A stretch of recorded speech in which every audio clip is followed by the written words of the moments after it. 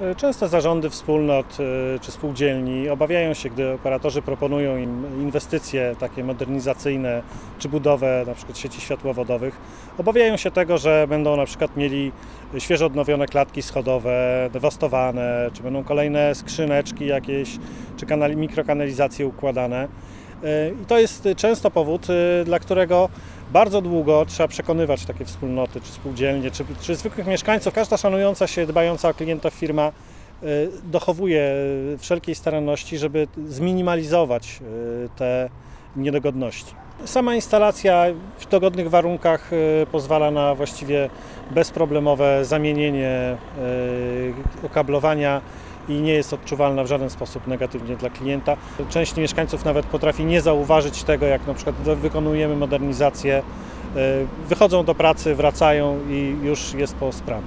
Czy warto zmienić e, internet na światłowodowy? No myślę, że e, jeśli ktoś spróbuje, to od razu te wątpliwości zostaną rozwiane. Szybkość nieporównywalnie większa, brak limitów oczywiście, dużo mniejsze opóźnienia, co docenią na pewno gracze, a gra bardzo wielu e, użytkowników internetu, ale też przy zwykłym użytkowaniu jest to bardzo e, dogodna e, sytuacja, więc naprawdę e, warto, jest to rozwiązanie dużo mniej awaryjne niż e, każda inna technologia. Właściwie mamy taki internet i on jest dla nas e, jak powietrze.